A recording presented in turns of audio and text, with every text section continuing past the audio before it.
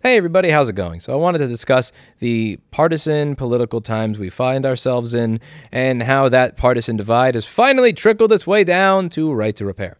So, this is House Bill 1810 in the Washington State Legislature. And as you can see, this was moved out of committee a few days ago. This is the right to repair bill that I've been pushing forward in all these different parts of the country. And this made it out of committee with every Democrat besides one in favor and every Republican voting no.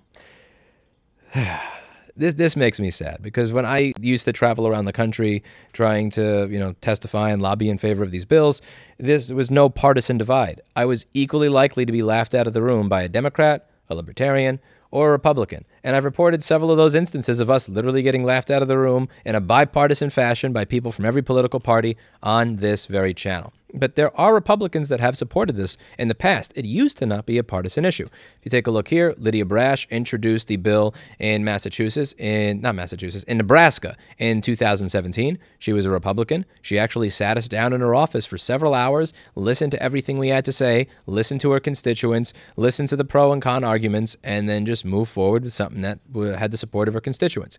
Tom Brandt, senator I talk about a lot on this channel, he got sick and tired of people ignoring farmers. He is a farmer, so he decided, okay, cool, I'm going to become a politician. Let me see if I can get something pushed forward myself. He introduced the right to repair bill in his state as a Republican. It got moved out of committee recently, and now it will be put up for a vote by the state Senate, which is really, really cool. And in the state of Washington, you even have people who are Republicans that have supported this in the past. Unfortunately, for the right to repair side, senators like Doug Ericksen, who were actually pretty pro right to repair, um, he, he, died of COVID last year. Um, so rest in peace, sir.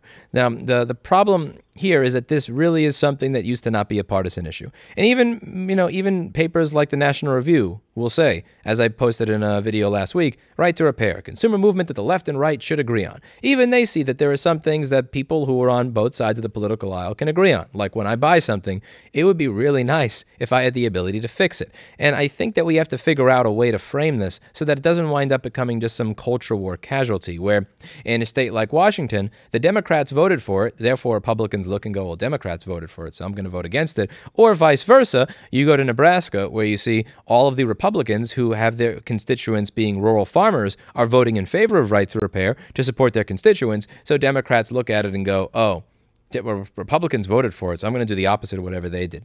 That would truly be the death of the ability of anything to, to progress in this country. And I think we have to start coming up with framing and figuring out what the framing should be so that it can be framed as something that is positive to both sides. Again, when I meet rural farmers, when I meet people who are Republicans, who value freedom, who value, you know, um, self-sustainability and all of that kind of stuff, and, you know, America, freedom and all that, they just don't strike me as people that want Tim Cook telling them that they're too stupid to be able to work on their own stuff. And they, they tend to be people that don't want big tech CEOs to have control over their property, what they do with it, and um, all of this. And, and I think maybe framing it in that type of way might uh, be helpful in terms of actually getting past some of these partisan divides and realizing that it, that you shouldn't just vote the opposite of what your opposition uh, does because we are in this weird little political cold civil war amongst the parties in the United States where there is so much hatred for people on the other side. I'm just going to do literally the exact opposite of whatever they do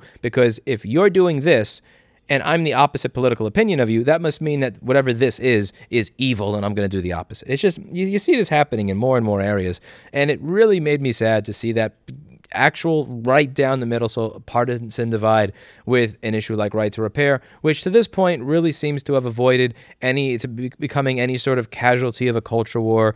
Right to repair hasn't wound up on Rachel Maddow or Tucker Carlson as something that gets laughed at or called horrible or whatever else.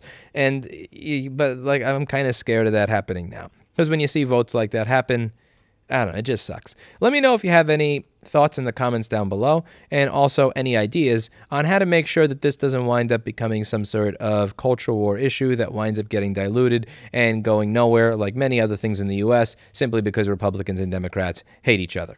I could always use your advice. That's it for today, and as always, I hope you learned something. And above all, I hope that I get to learn something from all of you so that I can do better in my own advocacy work. Thank you, as always, for your support, for your comments, for your suggestions, and above all, for the donating damn near a million dollars so that I actually have the ability to lobby in all these states to begin with and fund grassroots movements and you know, so on, and grassroots support and education and so on and so forth. I'll see you all in the next video. Bye now.